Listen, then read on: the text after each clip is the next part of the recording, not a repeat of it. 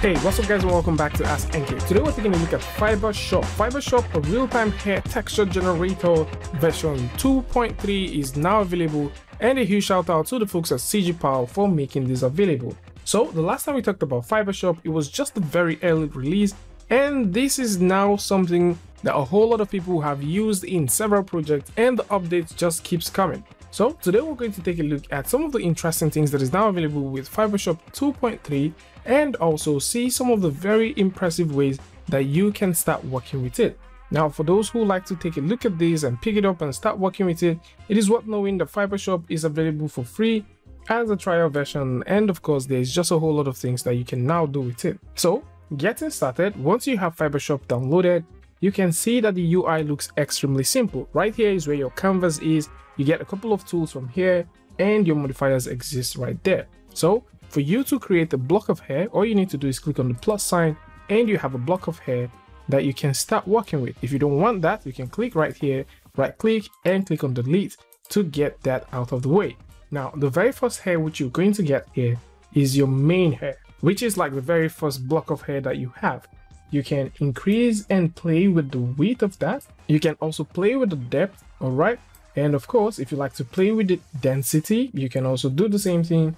And for those who like to play with the length, you can also play with the length of this. Now, depending on what you like to do, you might also want to play with the seeding. So you can play with the seeding like so.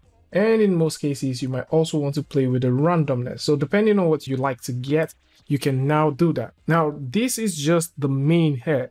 The hair actually has a couple of modifiers that you can work with. So looking at the five major modifiers that comes with this, the first one, which I'd like to explore is the noise. So you can add a couple of noise. So you want to get some noise like so? Yes, you can. If you want the noise to be controlled by a given graph, of course you can do that. So we can go to the strength section and we only need this noise somewhere within the tip. So I can bring this all the way down and then we can have that right about a point like so. So you can see we only have that happening there. If we need to get even way more stuff, I can click on that, get the clumping.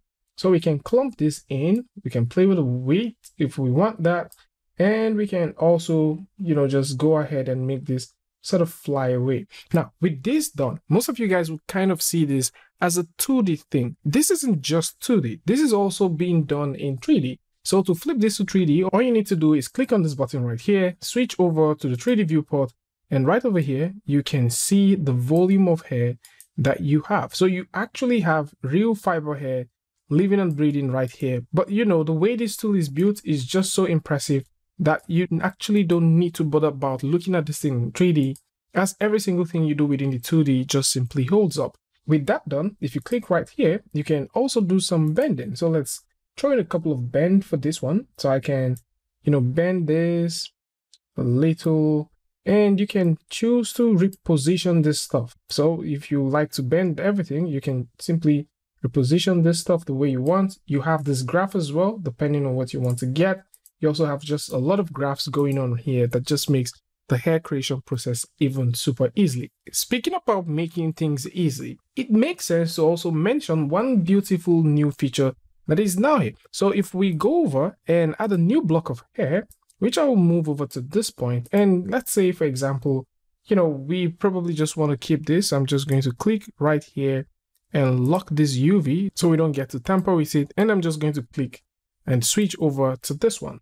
So if you go over to the main here, instead of toggling through with this, you know, playing with it, you can now hand draw your hair. So to do this is very simple. Click on the hand draw mode, click on draw, and there you have your brushes.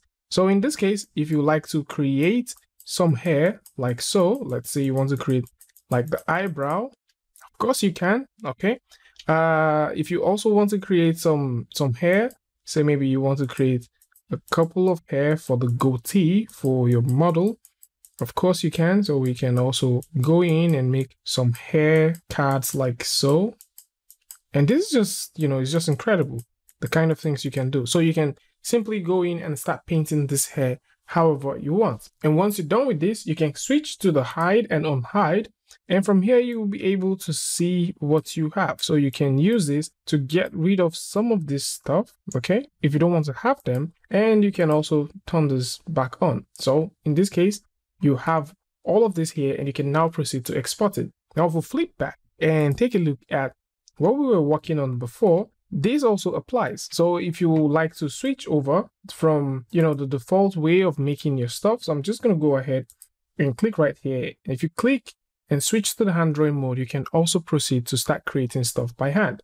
Now, once you're done making the model the way you want it, you can now jump over and go over to the bake section and start baking this. Now, it makes sense to note that if you don't want to have this, you can either proceed to lock it or hide it. But in this case, I'm just going to let that be and focus on this other one. Let's actually go ahead and delete that because we don't want to have that. And of course, if we like to bake just this one, we can go over to the bake and color, select the map type that we want, and then click on the word bake map. And that is basically how easy it is. And this way, you now have all the necessary maps that you need. If you would like to start styling this and adding extra stuff, you can do that. So to do it, you need to click on the filter, add a filter, select the kind of filter you want to add, and start having fun with it. I'm just going to go ahead and start off with the root to tip filter. In this case, if I like to give the tip a couple of uh, colors, so let's say we would like to give it this sort of green. We can get that. And of course, I'm switching these to screen so we can have just that screen-like stuff. And we can drop the intensity a little bit like that. If you like to add more filters, there's also a couple more filters that you can add. So if you want to add some gradient filter, you can do that. You can also simply, you know, make some changes to the gradient if you want to have that. But in this case, you know, we don't want any of this. I'm just going to go ahead and turn this off and also turn this one off. And once you're done, click on the export button, select the outputs folder, and also select the name. So now that we have this here, I'm going to go ahead and turn on fiber as mesh so that we can export the plane which we'll use to apply the texture itself. And of course, if you don't want any of these maps, you can turn them off and you can simply switch from PNG to JPEG or TGA files. And once you're ready to rumble, click on the export button and this will totally export this entire thing out. So with this exported, what we need to do is dive over to our DCC app of choice. In this case, we're using Blender and see how this actually works with it. So with Blender simply open right here, what we need to do is simply bring in that folder. So the folder where we exported our stuff is right here and you can see that we have the source file itself, the textures exist here, we exported some meshes, you can find them there, and also we have the fiber card. Now in most cases, this FBX file will not load into Blender. So it's best to save this one for apps like Marmoset, Maya, and all that. But if you need something you can work with, then you should use the fiber card. So the fiber card is one that is available that we can use with Blender. So the best thing to do is just go ahead and import it. All right. So with this here, let's get rid of the cube. So once we have this here, the next thing which we need to do is drag out a new panel, switch this over to shader editor. And then because we have the node wrangler up and running, we need to just simply select the principled shader and add a texture setup. For those who have no idea how to set up the node wrangler, that's pretty simple. Go over to edit go over to preference and then type in the word node and you can find the node wrangler right here. So it just simply helps you to set this thing up really quick. And once you're ready, let's go in and grab all of that, copy and paste that one more time and drag this down. So I'll wire the color of this particular one over to alpha and then we would proceed to load those textures in. The textures that we already have, I'm just going to go in, click on open, find these textures where they are, and load them in. So I already have the first one loaded in. So I'm also loading the second one as well.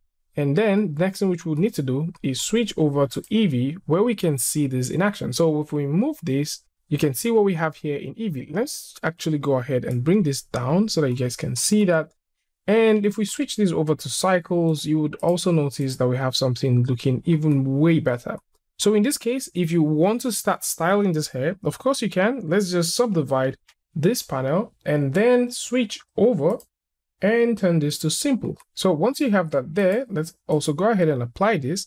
If you press the tab key, you now notice that you can start styling this hair however you want directly here in Blender. And most of you guys might be asking, what about Eevee? How do we work with this in Eevee? And of course, how you can work with this in Eevee is pretty simple. So let's back up a bit and then drag this all the way out. So if you're working with Eevee, let's switch this over to Eevee actually. So if you're working with Eevee, all you need to do is go over to where you have your options and change the blending mode to alpha clip.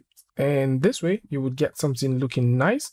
Or you can even set this to the alpha hash and that also looks pretty nice. So depending on what you want to do, you can now start styling your hair however you want. So a huge shout out to the folks at CGPal for making this beautiful real-time hair texture generator possible and it makes sense to see that they continually develop the fiber shop as this is something that looks pretty cool. So for those who like to test this, you want to create some amazing hair and you're just wondering how to get started, you don't know how to bake hair textures, and you just want to make something cool, then you should consider checking out the Fiber Shop. And of course, you can go in and download Fiber Shop right now for free and test it out. And of course, if you like to use this for personal projects or maybe you want to use it for indie, the prices are right there and you can consider checking them out for yourself. And that's about it. For those who like to take a look at this, links to this is going to be in the description, so do well to check it out. Tell me what you guys think about this one in the comment section. And of course, if you like this video or you learned something from this, you can go ahead and give a like and don't forget to share with a friend. And I'll see you guys in the next one. Peace.